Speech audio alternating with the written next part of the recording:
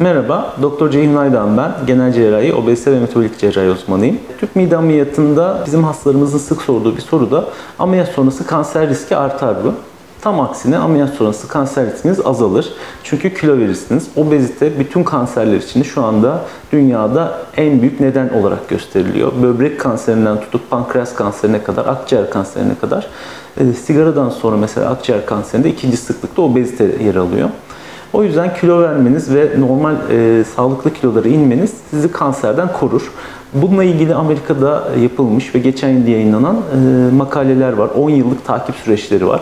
Burada çocuklar dahil ameliyat edilmiş. E, 13-18 yaş arasındaki 1000 çocuk ameliyat edilmiş ve 10 yıllık takiplerinde normal popülasyona göre bir farklılık izlenmemiş. O yüzden obezite cerrahisi bizi kansere karşı korur.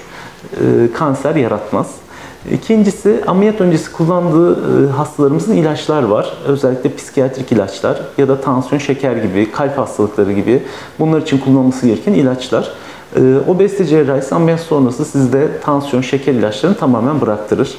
Uyku apne gibi sorunlarınız varsa bunu hemen ameliyat akabinde ortadan kaldırır. Birçok makineye bağlı uyuyan hastamızın makineden hemen kurtulduğunu görüyoruz. Psikiyatrik ilaçlara geldiğimizde ise bunların obezite cerrahisi için özel üretilen şurup halinde olanları var. Artık hastalarımızı ameliyat sonrası özellikle ilk 10 dönemde bunlarla e, takviye ediyoruz. Daha sonra 10. günden sonra da kendi ilaçlarını e, ezilmesi mümkün ilaçlarını ezip kullanmalarını istiyoruz. Kalp hastalıkları için de yine birçok ilacın şurup formatını veriyoruz ya da bu ilaçların e, iğne formatlarını veriyoruz. Ameliyat sonrası kullanmanız gereken birçok ilacı kullanabilirsiniz. Tabii bunu bizim tavsiyemiz ve yönlendirmenizle yapabilirsiniz. Estetik için değil, sağlık için obezite cerrahisi yapıyoruz. Hepinizi kliniğimize bekleriz. Teşekkürler.